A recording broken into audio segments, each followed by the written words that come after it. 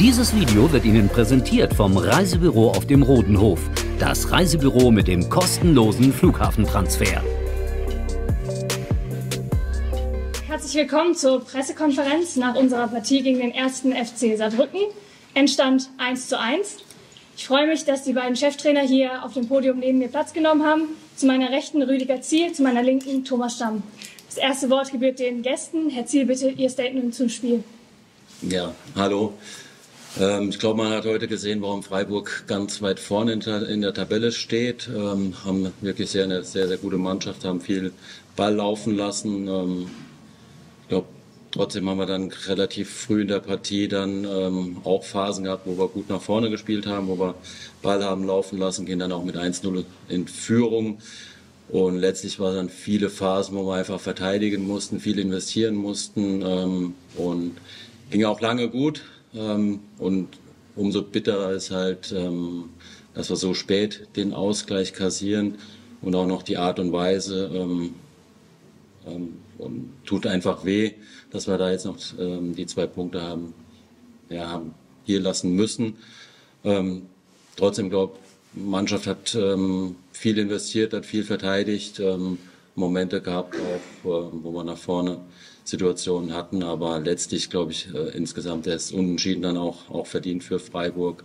Aber es bleibt einfach ähm, der Moment und Art und Weise des Gegentors ist einfach sehr, sehr schmerzhaft und ähm, weil es halt irregulär war, einfach sehr, sehr bitter für die Mannschaft. Ähm, trotzdem, glaube ich, müssen wir Köpfe hochhalten wir haben gewusst, wir haben, es ist ein schweres Auswärtsspiel, hat sich so bestätigt. Wir hätten gerne die, die drei Punkte mitgenommen, auch wenn es vielleicht dann unverdient gewesen wäre. Aber so tut es halt einfach weh und müssen, ähm, glaube morgen auch das analysieren, Köpfe frei kriegen, dann Fokus auf das Spiel am Sonntag. Danke. Vielen Dank. Thomas, wie hast du das Spiel gesehen? Ja, ich finde, wir sind sehr, sehr gut ins Spiel gekommen. Ähm, so wie Saarbrücken die letzte Szene beklagt, beklage ich die erste. Ähm, da kann man Elfmeter geben. Von den Situationen gibt es ähm, nochmal zwei, ähm, dass er dann die letzte kurz vorm 1-1 nicht gibt, ähm, wo Pius Kretschmann mit beiden Händen Max Rosenfelder runterringt.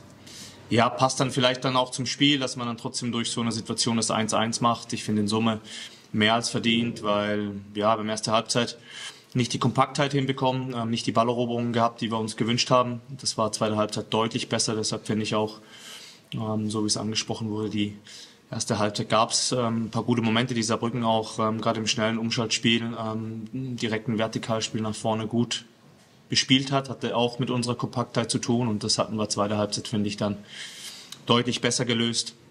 Ich kann mich an fast keine ähm, Chance erinnern, die wir dann zugelassen haben und haben trotzdem dann auch auf unserer Seite. Vincent läuft alleine äh, gegen Batz.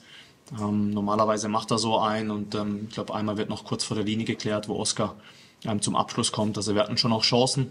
Deshalb, ähm, ja, finde ich in Summe ein gutes Spiel gemacht, wieder von unserer Mannschaft gegen eine ähm, aktuell sehr, sehr formstarke Mannschaft, ähm, die viel Wucht hat. Und ja, finde über 90 Minuten ist es mehr als verdient, dass wir dann den Punkt noch geholt haben mit einem ja, verständlichen Nachgeschmack, wenn ich die Szene dann nochmal sehe. Aber ich glaube, ähm, wenn es dann um die ähm, Entscheidung geht, ähm, gab es die ein oder andere heute, die deutlich mehr gegen uns war, wie, wie dann für uns. Von daher, glaube ich, geht das in Summe dann auch in Ordnung. Vielen Dank, Thomas.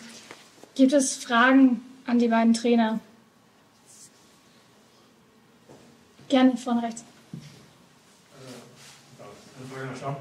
Viele Spieler aus dem Kader waren jetzt, äh, aus dem Rückspiel waren heute nicht da. Sind, das, sind die alle bei Nationalmannschaften? Haben Sie Informationen, ob die äh, noch äh, die gesund sind und auch am nächsten Wochenende wieder zur Verfügung stehen? Weil das, glaube ich, auch oft noch ein Spieler.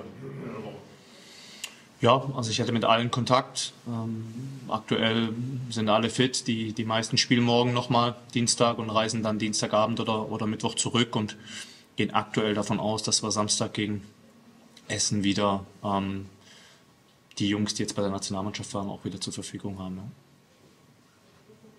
Gibt es weitere Fragen? Gerne.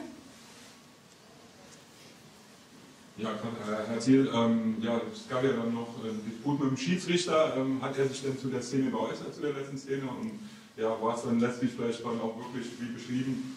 vom Kollegen dann eine Konzessionsentscheidung, weil es eben vorher äh, da mehrere Szenen im Strafraum gab, die nicht geahndet wurden? Also klar haben wir uns beschwert beim Schiedsrichter aufgrund der letzten Situation, aber er hat es einfach nicht gesehen. Er hat, glaube ich, die Position, die er dann im Spiel hat, ähm, konnte das auch nicht sehen.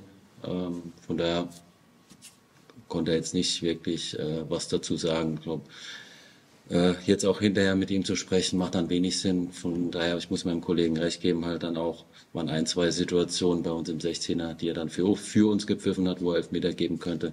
Gleicht sich dann irgendwo aus und trotzdem halt sehr, sehr bitter zu diesem Zeitpunkt.